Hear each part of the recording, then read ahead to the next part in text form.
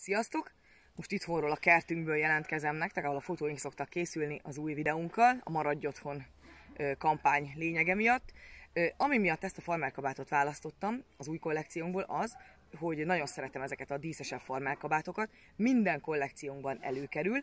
Most ebből a stretch, világ, ilyen középkék színű stretch farmer anyagú van, és patentos, gyöngyökkel van kivarva, LS és XL-es méretben van még egy-egy darab. Az LS az a 40-es méretre jó, azaz rám, rajtam is ez van, az XL-es pedig akkor így a 42-es méretre lesz jó.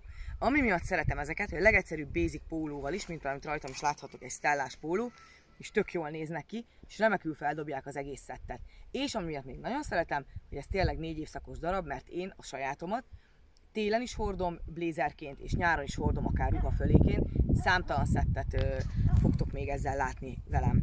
Úgyhogy ez is egy jó darab. Aki a gyöngyöket szereti, ajánlom, hogy egy gyöngyfüli a fülbe, és kész is vagyunk.